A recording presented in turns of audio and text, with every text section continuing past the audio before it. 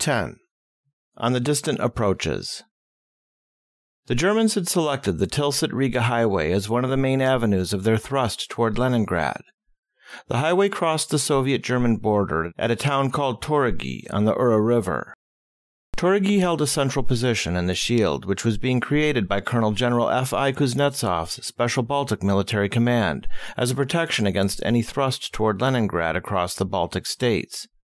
This command, set up after the absorption of the Baltic states into the Soviet Union in the summer of 1940, was supposed to hold back an attack hundreds of miles to the west of Leningrad. Despite its obvious importance, Taurage was garrisoned on the evening of June 21st, only by special police border troops rather than by regular Red Army units. Sometime during the evening, a border patrol intercepted a letter which said that the Germans planned to attack either Saturday night or Sunday morning. At about 2 a.m., June 22nd, Lieutenant General Golovkin of the Border Force ordered his men to battle stations. They could plainly hear the noise of heavy machines, obviously tanks, across the river. It was a cool night and quiet except for the clank of heavy equipment on the German side where no lights were showing. At 4 a.m. came a roar like thunder. A shell smashed into the command post at Taurage, and a second knocked out the switchboard. Over a field telephone came a cry from a border sentry. Asoka calling! Asoka calling! Germans have crossed the frontier. This is Asoka. It's war. I see tanks. Many tanks. The border guards blew up the bridge across the Ura, but did not have the strength to offer much opposition. In the commandant's office, they were busy burning secret papers and getting the money out of the office safe. At about 2 p.m., the frontier guards managed to make their way to Skaudvile, about seven miles east of Taurage. Low flying Nazi planes strafed them, and they fired back with pistols and machine guns. They had no anti aircraft weapons. Not until 4 p.m. did they get their first communication from the regular Red Army Command. It was a message from 125th Division headquarters, ordering them to set up roadblocks, to liquidate the Nazi intruders, to hold up disorganized units and soldiers, and halt the spread of panic. The description of the Germans as intruders suggested that even 12 hours after the war had started, the 125th Division commander was not sure Russia really was at war. The border guards did their best with the intruders, but it wasn't easy, one survivor recalled. The weight of the Nazi attack was so heavy that it simply crushed many Soviet units in its path. This was the fate of the 125th Division. It was attacked by three German armored divisions of the 4th Nazi Panzers and three infantry divisions. It fell apart. Within hours, it had no tanks, hardly any anti aircraft guns, little transport, and was running out of hand grenades. Helplessly, it staggered back to the rear. The 125th Division was part of the Soviet 11th Army, which was commanded by Lieutenant General Vasily Morozov a handsome, quiet, self controlled, mustached officer of great experience. He had an able staff headed by Major General Ivan T. Shlemin and Ivan V. Zuyev, a political commissar who had served in Spain. The Soviet 11th Army was one of three which made up the Baltic Military Command of Colonel General F.I. Kuznetsov. Kuznetsov was a very senior Red Army officer, but he had never seen active combat. His chief of staff was Lieutenant General P.S. Klenov, and his military commissar was P.A. Dibrov. The Germans possessed a superiority over Kuznetsov of about 3 to 1 in infantry and 2 to 1 in artillery. In armor, the two forces were roughly equal. Footnote the authoritative Soviet study of the Baltic campaign gives the German superiority as 1.66 to 1 in divisions, 1.3 to 1 in armor, 1.8 in weapons, 1.3 to 1 in armor, 1.8 to 1 in weapons, 1.37 to 1 in planes. End of footnote. However, the figures were deceptive. Kuznetsov had dispersed his troops widely through the whole Baltic area. Many units were 100 to 300 miles to the rear. Only seven divisions were in the frontier region, and most of them had only one regiment in line, the rest being in barracks and camps 25 or 30 miles away. This reflected the general situation on the Western Front, where a total of 170 Soviet divisions facing the Germans, only 56 were in the first echelon on June 22nd. Not only were troops badly positioned, Stalin specifically had refused requests by Kuznetsov to concentrate his forces on the frontiers. But the fortified regions on the new state borders were far from complete, only 50% by one estimate. Many heavy forts were not due to be ready until 1942 or even 1943. A visitor on the eve of June 22nd was shocked to find Baltic frontier works, which supposedly had been finished, but had no weapons in place except for a few gun positions fitted out for show to inspectors sent out from Moscow. Kuznetsov frontier commanders were excellently informed as to German forces concentrated across the border from their lines. Often they knew not only the numbers but the designations of the units and the names of German commanders, but they could not obtain orders to position their troops properly to meet an attack. Nor did Colonel General Kuznetsov have any detailed plan of action in event of German attack. It was no accident that the very suggestion to set up plans to defend his Riga general headquarters struck him as unthinkable. Like most commanders in the field, as well as the Supreme Command in Moscow, he was dominated by Stalin's official doctrine that war will be fought on alien territory with a minimum of bloodshed. This thesis had been preached for years both in the military academies and the Communist Party. The Soviet army, the Soviet government, and the Soviet people had become accustomed to thinking that if war came, their armies would strike quickly to the west and carry the attack to the enemy. Comparatively little attention had been given to the defense tactics, or to problems which might be encountered as the result of Nazi blitzkrieg tactics.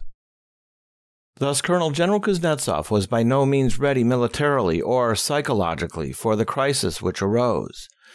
Many, possibly half, of his officers were on leave. More than half the border units were under strength and had only a fraction of the arms and equipment called for by the table of organization.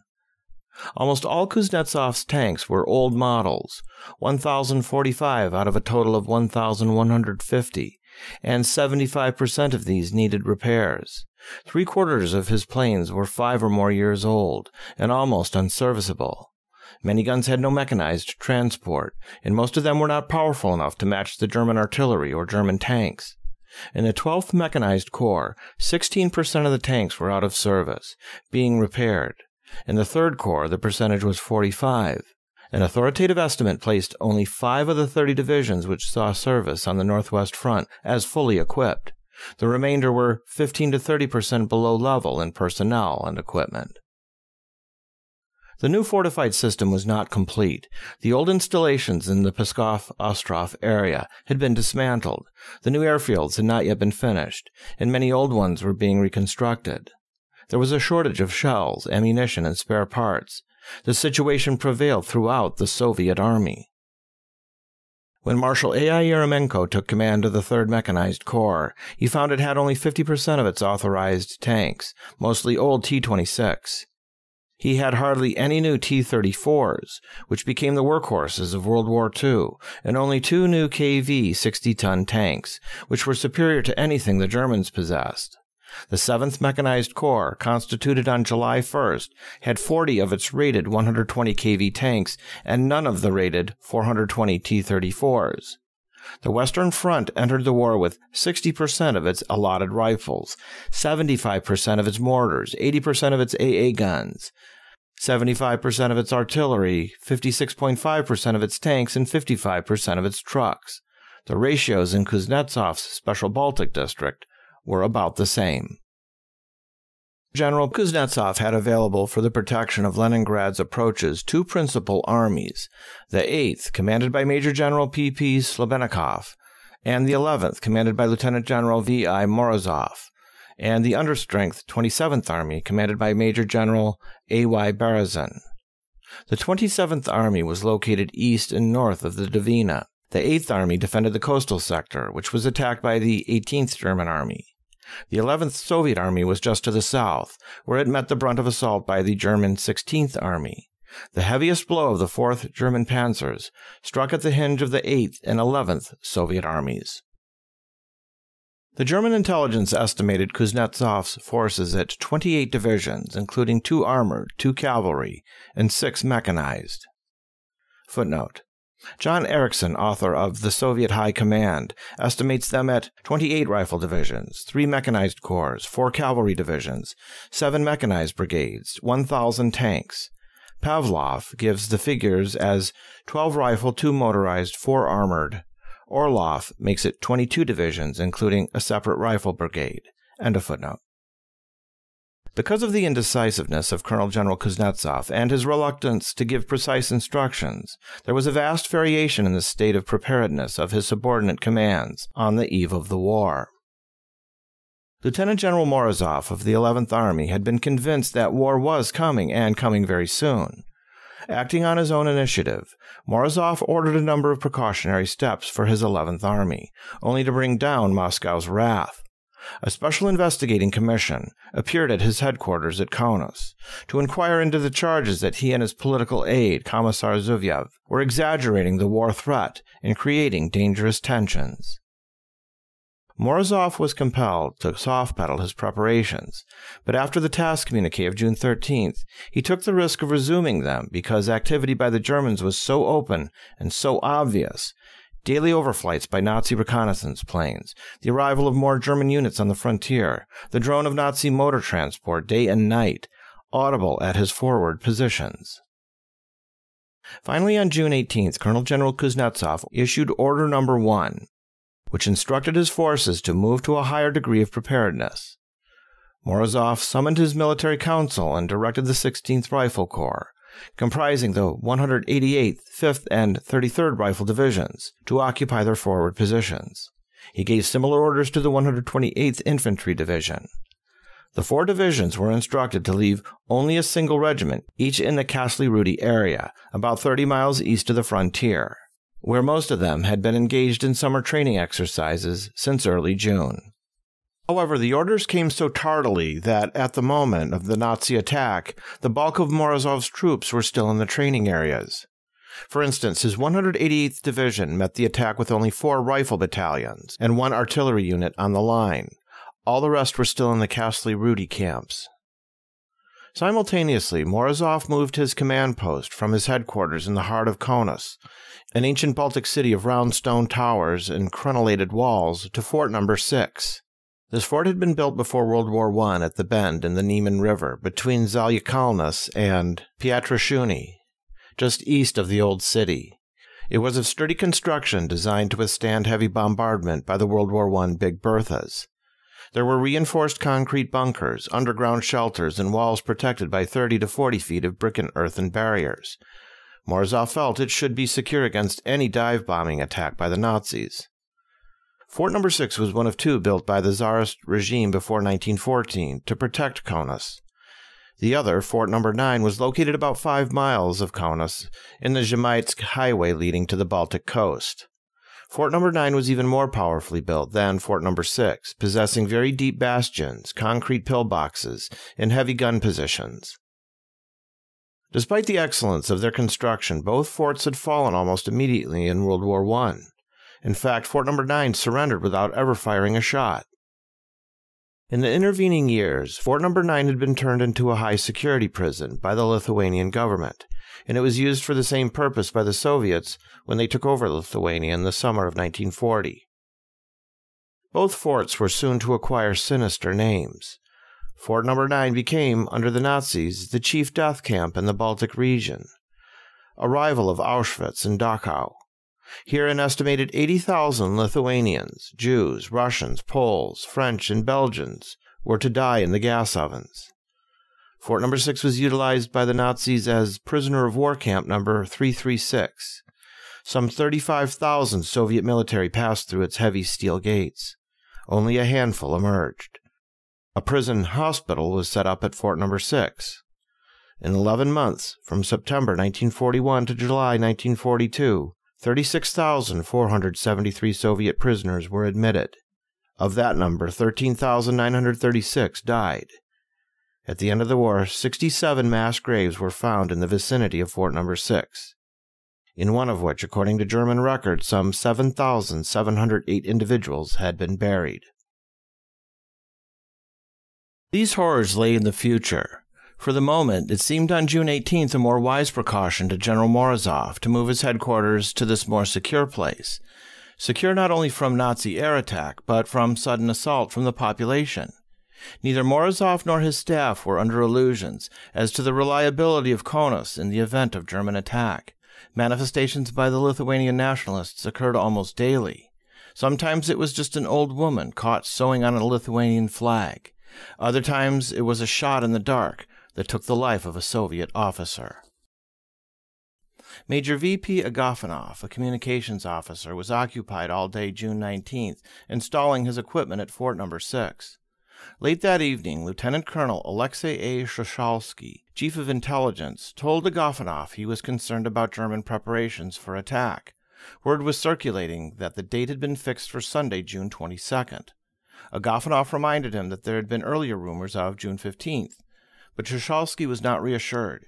He pointed out that only that day they had found the communication lines of the 188th Division cut. Agafonov was worried about the safety of his two children, but he was fearful that if he tried to send them to the rear, he would be branded a panic monger. He knew, too, that General Morozov had just sent his own daughter to a summer camp almost on the frontier. On June 21st, Colonel General Kuznetsov came down from his Baltic field headquarters near Panevėžys, about three hours' drive due north of Kaunas. He was disturbed about the orders Morozov had given for moving troops into border positions. Moscow was insisting again that nothing be done which might be interpreted by the Germans as a provocation. It was this fear, not worry over the concentration of Nazi divisions, which preoccupied the Kremlin. Aren't you carrying out your concentrations along the frontier too openly? Kuznetsov asked. Don't you think that they are going to smell this out on the other side of the line? If they do, there will be unpleasant consequences. We've done everything possible, said General Shlemin. Morozov's chief of staff, to assure that our movements will not be noticed. I hear, Kuznetsov said, that ammunition is being provided to the troops. That's correct. Well, Kuznetsov said, be careful with it. One accidental shot from our side may be used by the Germans as an excuse for a provocation. We understand, General Shlemin replied. Our people have been strictly cautioned. The tall, dignified Kuznetsov and the small, shaven-head Schlem stared at each other a moment. Then Kuznetsov nervously pulled on his gloves, muttering, What a muddled situation, fantastically muddled. He strode off to his car, sat there a moment as though about to say something more, then slapped his hand on his knee and drove off. Major Agafonov hurried ahead with his work at Fort Number 6. He labored all day and into the evening, Saturday, June 21st. He was too busy to attend one of the many meetings held that night in almost every 11th Army unit by a special team of political commissars sent out by the Central Political Administration of the Red Army in Moscow. This team was instructed to carry out seminars throughout the 11th Army, assuring troops that war with Germany was not imminent. The exercise had been ordered to dampen down the vigilance and militancy of the 11th Army. Major Agafonov worked well past midnight. There was nothing new from the frontier, all quiet as he knew. He finally got his telegraph, radio, and telephone positions manned and connected. It was nearly 3 a.m. when he and General Shlemin started for their barracks to get a little rest. They ran into Colonel S. M. Firsov, Chief of Engineers for the 11th Army. Firsov was angry. He had obtained from the Baltic Military District a shipment of about 10,000 mines, which he proposed to emplace along the frontier, protecting areas of possible German tank assault. He had started on Saturday laying out the minefields, but the chief of engineers of the district, Major General V. F. Zotov, had ordered him to halt. Apparently, he said with a grim smile, I'm in too much of a hurry. Firsov put the blame on Zotov. Actually, the orders came from higher up and were part of the effort by Moscow to cool the 11th Army and the Baltic Military District in hopes of averting a German attack. A few hopes could have been more vain. Within two hours, Agafonov was routed from his sleep. He raced to the command post, deep in the interior of Fort Number 6. Every telegraph, telephone, and wireless receiver was jangling. The enemy has opened strong artillery fire. The enemy is attacking our forward position. Artillery fire on our positions. German tanks are attacking. We are beating off a German infantry assault. One telephone operator threw up his hands. Comrade, Major, I quit. Everyone is swearing at me, threatening me with arrest. I don't know what to do. The training camp at Kosly Rudy was under air attack. General Shlemin made his first report to Colonel General Kuznetsov at Baltic headquarters. All units are occupying defenses along the frontier line. All along the line, the enemy has opened fire. A radio operator reported no contact with the 128th Division. This was serious business. Major Agafonov set to work to restore communications. Finally, a brief flash came in from the 128th Division. German tanks have surrounded headquarters. Nothing more. General Shlemin attempted to get through to the 5th Tank Division near Alytus, a key crossing of the Niemen River just north of the 128th Division. The radio operator tried again and again. Niemen, not calling. Alytus, Alytus, do not calling. But Alytus did not answer, nor did it answer for the rest of the night. A courier was sent by car to Alytus, forty miles away. He did not return. General Morozov grew more and more concerned. German tanks are advancing on Alytus, he said. If they seize the bridge there, they will turn the flank of our army. He was pondering the situation when Lieutenant Colonel Soshalsky entered the room. He walked up to Morozov and whispered hoarsely, Vasily Ivanovich, the Germans have broken into the children's camp. The children. What about the children? Morozov asked, his tone still hopeful. I can't tell you, Soshalsky cried. The children. The tanks. Major Agafonov's children were in that camp. So was Morozov's daughter, Lida. Footnote. In 1944, General Morozov, by great good fortune, found his daughter. She had made her way into Latvia and there had survived the Nazi occupation. End of footnote. Still no word from Alytus. At 6 p.m., the evening of June 22nd, Major Agafonov himself set out to try to reach Alytus. A few miles out of Kaunas, he met a blue tourist bus bringing back 20 commanders from a vacation in the countryside. No point in going any further, they told him. Alytus was occupied by the Germans.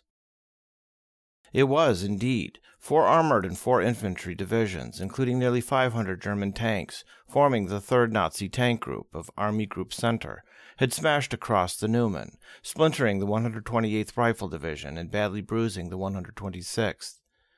The Soviet tank division moving up to protect Alytus was caught in motion and found itself cut off and surrounded. The blow crushed the hinge between the 11th Army and the Central Front and threatened to isolate the 11th Army from its neighbor to the north, the 8th Army. Before nightfall on Sunday, June 22nd, the Germans had secured excellent crossings of the Niemen River at Alytus and a few miles farther south at Myirkyn. The fate of Kaunas was sealed. By the time Major Agafonov got back to Fort Number 6, he found that headquarters was being shifted to Kashadaurus, about 20 miles to the east. He had two hours to tear out his installations. Before morning, a new system must be operating from Kashadaurus. He proposed shifting over to wireless, but this was forbidden.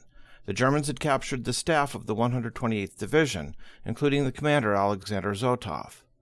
Presumably, they had captured the Soviet ciphers. Wireless was to be used only in the direst necessity. The 5th Tank Division had still not been heard from, and the whole of the 16th Corps was retiring to Jonava, 20 miles northeast of Kaunas. The city was being abandoned without a battle. Left behind were the families of the army men, Major Agafonov's among them. The German attack caught the Soviet Air Force in the Special Baltic Military District on the ground. It was, in the words of Lieutenant General P. P. Sobennikov, commander of the Eighth Army, virtually destroyed in the first two or three hours of war. Lieutenant General P. V. Rychikov, air commander of the Baltic District, was ordered to Moscow and shot. Lieutenant General of Aviation Kopets, chief of the Soviet Bomber Command, committed suicide June 23rd. He had lost 800 bombers to a handful by the Germans. In the first day of war, the Western and Special Kiev military districts lost half their air strength. Soviet losses to 1:30 p.m. on June 22nd were put at 800 by Halder. At that hour, the Nazis had lost 10 planes. The total Soviet loss on the first day was 1,200 planes, 900 on the ground, and 300 in combat. The speed and impact of the German assault had a catastrophic effect on communications within the Baltic Command. Before noon on June 22nd, General Kuznetsov had lost contact with almost all his forward units. Reinforcements were headed for fronts which no longer existed and were wiped out by German armor, scores of miles from where the enemy was supposed to be found. The closer to the frontier, the worse the situation. Footnote. Typically, Colonel General I. Lyudnikov, commander of the 200th Rifle Division, was moving his troops on forced march to a concentration point six to ten miles northwest of Kovel. About midnight, June 22nd, he heard heavy aircraft overhead. At 3:40 a.m., a flight of 19 German Ju-88s, their black swastikas plainly marked, appeared just north of his column. At about 4 a.m., he heard heavy firing to the west, and five minutes later, nine Ju 88s attacked Lyudnikov's 661st Regiment. Lyudnikov had no orders. He put his troops under cover and told them not to fire on any planes without special instruction. He got through to 31st Corps about 6 a.m., but his commander, Major General I.A. Lopatkin, had no instructions. All day Lyudnikov waited for orders. None came. End of footnote. The Germans had little difficulty in overpowering individual Soviet units, which they encountered near the frontier. Most of the troops had neither instructions nor battle plans. All they could do was fight back with any weapon that was at hand. At many points in the first hours of war, the only opposition was put up by the paramilitary frontier police, the NKVD border guards, whose nominal commander was Lavrenti P. Beria, Stalin's sinister chief of secret police. This was the case in the region just north of Memel, where the Germans crossed the frontier, advancing toward Palanga, key to the Nazi push up the Baltic coast to the port of Libau. By 6 a.m., Palanga, defended only by the 12th Border Guards, was in flames and battle was raging in the streets. By 8:45 a.m., the 12th Border Guards reported Palanga had fallen and they were retreating. At noon, the 24th and 35th companies of the 12th Guards had been driven back along the road toward Libau. Up to this time, after eight hours of heavy combat, no regular Red Army units had come to the aid of the border forces. The reason is quite clear. They had simply been wiped out. Soviet historians trying to reconstruct the battle have had little to work with. Destruction of the units was so complete that not even their operational journals have survived. Libau was the second largest port in Latvia. This was the port which the Baltic Fleet commander, Admiral Tributs, considered indefensible because of its closeness to East Prussia, and from which all major fleet units had been withdrawn shortly before the German attack. Colonel General Kuznetsov had reluctantly assigned the 67th Division to defend the city only a few days earlier. Major General N. A. Dedayev of the 67th had two regiments, the 56th and the 281st, and a scattering of sailors and coastal artillery at his command. Not until June 21st, less than 24 hours before the attack, had Major General Dedayev's artillery commander, Colonel Korneev, sat down with his naval counterpart, Captain Kashin, and worked out the coordinates for the artillery defense of Libau. Footnote. Another account gives the date of the meeting as June 20th. End of footnote. Acting on his own, and largely because of nervousness engendered by reports from naval intelligence, Major General Dedayev on the evening of the 21st ordered those units of his 67th Infantry which were not engaged on construction work most of his troops were so employed out of their barracks on military exercises. Three battalions moved from town to the banks of the Barda River and set up camp. General Dedayev spent most of the evening driving about Libau and its military installations, trying to convince himself that all was in order. Returning to headquarters in late evening, he heard that Captain Mikhail S. Klevensky, the naval commander, had received a warning from the Baltic Fleet headquarters of possible action that night. Dedayev listened to the 11:30 p.m. news from Moscow. There was nothing special. The Spassky chimes played the Internationale. Not until 3 a.m. did a message come through from Colonel General Kuznetsov at Baltic Military Headquarters, alerting all units to occupy forward positions with full field ammunition, prepared for action, but to avoid provocations and not to open fire on overflights of Nazi planes. General Dedayev went straight to the naval base and spent an hour with Captain Klevensky, working out a triple system of defense lines around Libau. It was the first time they had sat down to work out a joint defense plan. On his way back to headquarters, Dedayev heard the drone of planes. It was three waves of Ju 88s coming in from the sea. No one fired on them. They swung over the city, suddenly dove, dropped their bombs, and zoomed away. Only then did the Ack guns protecting Libau open fire. General Dedayev checked the reports from all his units. It was obvious that the Nazis were driving hard toward Libau. He telephoned General Berzarin of the 27th Army, his commander in chief. Berzarin's answer was curt. Dedayev was on his own. The Germans were attacking on the whole frontier. Hold on with what you have. Fight to the last man. The general sighed. He would do what he could do, but the odds were very long. The situation of the 8th Army was even worse. Lieutenant General P.P. Sobennikov had received the alert from Colonel General Kuznetsov so tardily that many 8th Army units found themselves being attacked by German armored units even before they knew that war had started. Sobennikov's 48th Infantry Division, commanded by Major General P.V. Bogdanov, moving toward the frontier from Riga early Sunday morning, was marching in parade order behind its band in the region of Rossyny. Martial field music filled the air. Suddenly, not knowing that war had started, the 48th Infantry was hit by German attack bombers. A little after noon, the division was attacked near Irksvilkas by German armor, which had broken through at Taurage. The 48th Infantry had nothing but rifles and hand grenades with which to fight. At 10 p.m., Bogdanov advised headquarters that he had lost 60 to 70 percent of his forces and had run out of ammunition. One of Sobennikov's heavy artillery units, advancing to the front by rail at dawn on Sunday morning, witnessed an attack on the Soviet aerodrome at Shauli. The artillerymen saw the German planes, watched the bombs fall and fires break out, but thought it was all a training exercise. Actually, Sobennikov observed, at this time almost all the Air Force of the Special Baltic Military District was being destroyed on the ground. Within 24 hours of the outbreak of war, Sobennikov reported to Colonel General Kuznetsov. The Army, the 8th, is in a helpless situation. We have no communications with you, nor with the Rifle and Mechanized Corps. I beg you to do all that you can to provide me with fuel. As for what depends on me, I am doing it.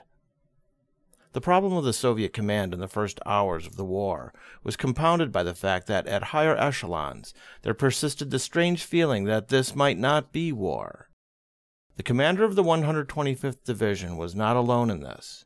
General Fedyuninsky, who commanded the 15th Soviet Infantry Corps along the Bug River, had the definite impression that many hours after the German attack, his chief, General M.I. Potapov of the Fifth Army, was still not quite sure that the Nazis had started a war.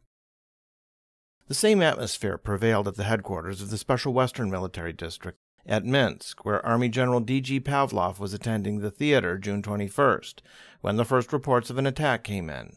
It can't be, he said. It's just nonsense.